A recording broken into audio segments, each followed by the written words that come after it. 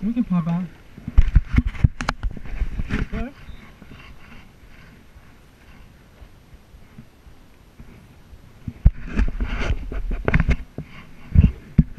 물고기들 안 보여?